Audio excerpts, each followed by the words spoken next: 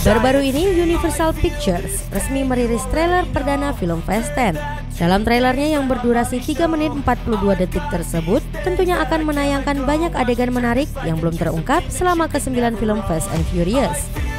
Film Fast 10 alias Fast Furious 10 ini tentunya menjadi salah satu film yang paling dinanti-nantikan oleh para penggemar di tahun 2023.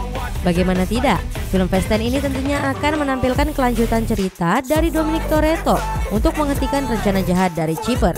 Namun tentu saja yang paling menarik adalah terungkapnya sosok villain yaitu Dante yang diperankan oleh Jason Momoa. Kembalinya Dante di Fast 10 ini bertujuan untuk membalaskan dendam pribadinya dengan memburu Dominic Toretto dan kawan-kawannya. Dalam trailer Fast 10 ini juga turut mengungkap debut karakter Tess yang diperankan oleh Brie Larson yang akan menjadi sekutu Toretto. Film Fester ini dijadwalkan akan tayang di Amerika Serikat pada tanggal 19 Mei 2023 mendatang.